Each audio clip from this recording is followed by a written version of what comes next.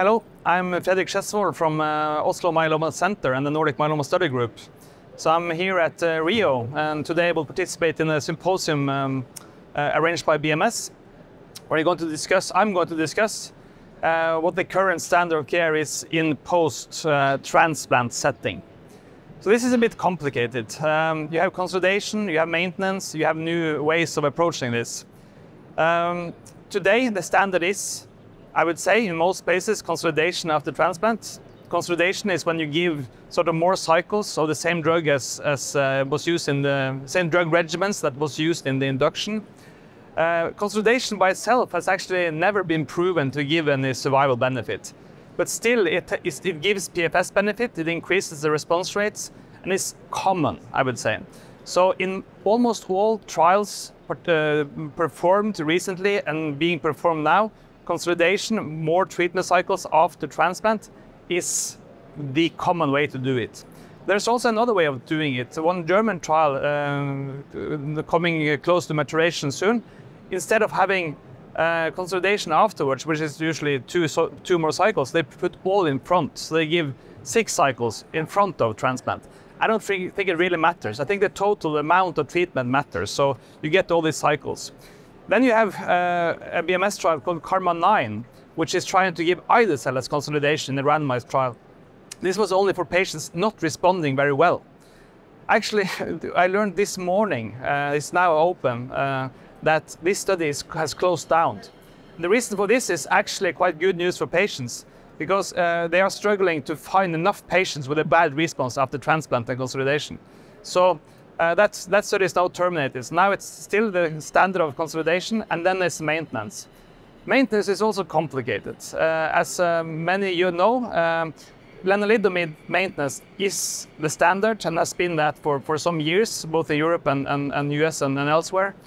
Um, there's still a big discussion about duration of treatment.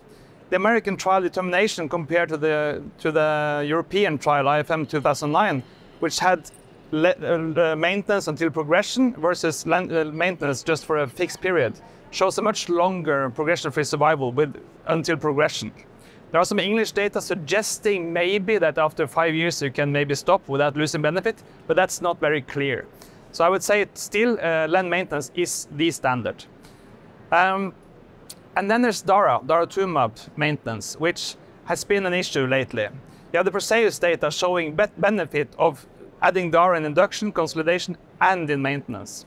So uh, this, this fall, uh, FDA has chosen not to approve DARA maintenance in addition to LEN, while Europe last week uh, approved DARA maintenance. So in, in, Europe now, DARA LEN is the standard, but not in the US as of now. Uh, we also have seen recently this spring that in, in Cassiopeia study that daratumumab alone as maintenance also give a better progression-free survival compared to no maintenance. So uh, more and more, we also see that in the newest studies, DARA-LEN is the scientific standard, but as of today, not approved in US, actually. It usually it's the other way around, but that's the situation now. So that's the situation now. I think the next steps will be uh, based on several trials being performed today, and that is maintenance, uh, usually for a fixed duration with the bispecific antibodies. So they are challenging LEN now in a pure maintenance randomized setting. And um, hopefully, expectedly, at some time, they will prove that bispecifics is better than LEN alone. And how to compare that to DARA-LEN is, of course, very difficult. Uh, we will not, uh, but we will just have to sort of compare data when we have them. Um, the, the, and the only other thing about this maintenance with bispecific is that Len is not always tolerated, but it's not sort of, it doesn't give many dangerous problems. But bispecifics, you can have more infections.